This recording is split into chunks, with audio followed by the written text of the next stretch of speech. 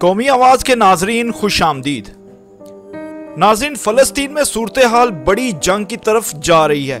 Israel के हमले के जवाब में हमास ने भी ताबड़तोड़ हमले शुरू कर दिए हैं। तुर्की भी जंग में बाकायदा तौर पर शामिल होने जा रहा है। तैयब अर्दवान ने तुर्क फौज को हाई अलर्ट कर दिया है, किसी भी वक्त इसराइल पर हमला कर सकते हैं। तैयब अर्दवान का अहम तरीन पैगाम इसराइली वज़ीर आज़म तक पहुँचा दिया गया। यरूशलेम की सरहद की जानब तुर्क फौज की पेश कदमी जारी, मगर इन हालात में भी इसराइल ने एपीपी और अल जजीरा की इमारत को निशाना क्यों बनाया? इसराइली वज़ीर आज़म ने बीबीसी के हेडक्वार्टर पर खुद फ़ोन करके ऐसा क्या कहा कि बीबीसी ने किसी को भी बताने की हिम्मत नहीं की। इसराइली जारहियत का इबरतनाक अंजाम होने वाला है। तैयब अर्दवान के बयान ने तहलका मचा दिया। तफसीलात जानने के लिए हमारी वीडियो को आखिर तक ज़रूर देखिएगा। नाजरीन, वीडियो में आगे बढ़ने से कबल, अगर आपने हमारे चैनल को सब्सक्राइब नहीं किया तो कर लें और बेल आइकन को भी दबा दें, क्योंकि ये मेरी और आपकी नहीं, बल्कि पूरी कौम की आवाज़ है। नाजरीन, इसराइल को निहत्ते फलस्तीनियों की आहें लगना शुरू हो गई। अल अक्सा ब्रिगेड के धमकी से इसराइली कमांडर सर छुपाने लगे हैं। फतह तंजीम की फौजी शाख अल अक्सा ब्रिगेड ने अपने माताहत मुसल्ला दस्तों से कहा है कि गरब उर्दन को सिहोनी हुकूमत के लिए जहन्नुम बना दें। इसराइली फिजाई हमलों के बाद शोहदाए अल अक्सा ब्रिगेड ने गर्ब उर्तन के शहरों और कस्बों में अपनी फोर्सेस को हाई अलर्ट कर दिया है। शोदाए अल अक्सा ब्रिगेड ने अपने एक बाजाबता इलामिये में अपने मतहत दस्तों से कहा है कि सेहूनी बस्तियों का हुक्म दिया गया है, उनको जहन्नम बना दो। बयान में कहा गया है कि गरब उर्तन के इलाके में सिहोनी कॉलोनियों की तरफ़ से जाने वाले रास्तों और इसराइली कैंपों की तरफ़ जाने वाली सड़कों को अपने हमलों के ज़रिए एक ऐसा जहन्नम बना दें जिसे सेहूनी बर्दाश्त भी ना कर सके।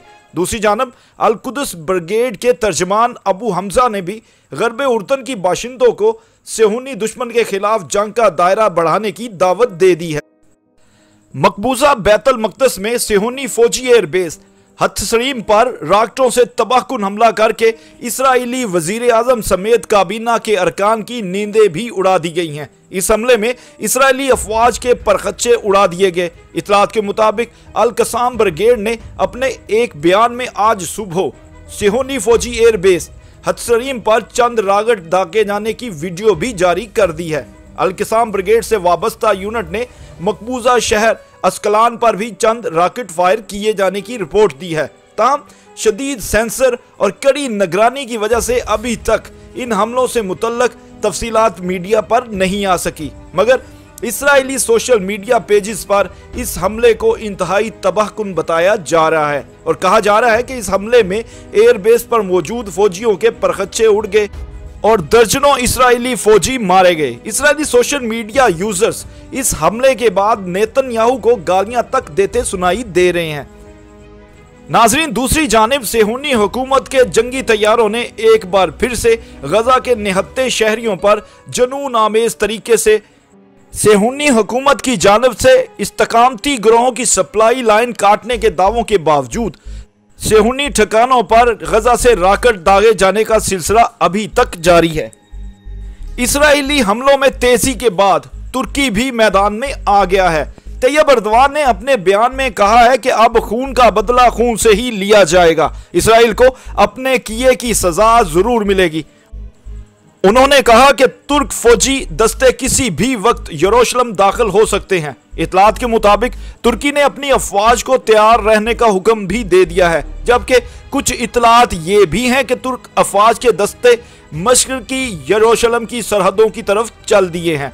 तुर्क वजारत दिफा की जानब से कुछ ऐसे भी इशारे मिले हैं कि अगर हालात फलस्तीनी शहरियों के मजीद मुश्किल किए गए तो एन मुमकिन है कि बहुत जल्द तुर्क अफवाज मशरकी यरूशलेम के इलाके में दाखिल हो जाएँ और मजलूम फलस्तीनियों की मदद को पहुँच जाएँ। इन हालात में अकवाम मुतहदा ने तुर्की से दरख्वास्त की है कि वो अपने दस्तों को तैयार रहने का हुक्म दे। इसकी वजह यह बताई जा रही है कि अकवाम मुतहदा अमरीका और इसराइल नवाज़ इतिहादियों की तरफ़ से दी गई तजवीज़ के मुताबिक काम कर रहा है, जिसके मुताबिक चूँकि इसराइल अफवाज फलस्तीनियों को शिकस्त देने में नाकाम हो चुकी है और इसराइल को डर है कि अगर कोई इनको बचाने के लिए आगे ना बढ़ा तो मामला हाथ से निकल जाएँगे। इस मकसद के तहत अकवा मुतहदा ने तुर्की से दरख्वास्त की है कि वो अपने फौजी दस्ते अमन मिशन के तौर पर इसराइल में भेजे, ताकि मामले को फौरी तौर पर ठंडा किया जा सके। तैयब अर्दवान ने इसराइली हमले के बाद दबंग बयान जारी करते हुए कहा है कि दुनिया वालों सुन लें इसराइली जारहियत पर खामोश रहने वालों का अंजाम इबरतनाक होगा। इतलात के मुताबिक सदर रजब तैयब अर्दवान ने कहा है कि फ़लस्तीन में इसराइली जुल्म जबर के खिलाफ अगर पूरी दुनिया खामोश भी हो जाए, तब भी हम उसके जुल्म के खिलाफ आवाज़ उठाते रहेंगे। तैयब अर्दवान ने बरसरे इकतदार, इंसाफ और तरक्की पार्टी के नुमाइंदों से बजरिया वीडियो कॉन्फ्रेंस मुलाकात भी की। उन्होंने अपने पैगाम में कहा कि गुजशत रोज शामी सरहद के करीब, जिस तरह हमने दहशत गर्दों का रास्ता रोका, उसी तरह मस्जिद अल अक्सा की जानब बढ़ते हुए हाथों को हम रोक देंगे। मैंने बाज आलमी रहनुमाओं से रबता भी किया है, जिन्होंने हमारे मौकफ की मुकम्मल तायद की है। उन्होंने कहा कि इसराइल के फलस्तीनी शहरों और अलकुतस में बरपा मुजालिम के खिलाफ आवाज़ उठाना नामूस इंसानियत का फ़र्ज़ है। इसराइल की जानब से बहाए जाने वाले खून पर खामोश रहने वालों को ये याद रखना चाहिए कि एक दिन उन पर भी वक्त आ सकता है। तैयब अर्दवान ने कहा है कि अलकुदस मुसलमानों के साथ साथ मसीहियों और यहूदियों के लिए भी मुकद्दस मकाम है, जहाँ इसराइल नामी दहशतगर्द रियासत ने इंसानियत सोजी की तमाम हदें अबूर कर ली हैं मैं अकवाम आलम से मुतालबा करता हूँ कि वो बिला इम्तियाज़ इसराइली जारियत के खिलाफ मुतहद हो जाएँ।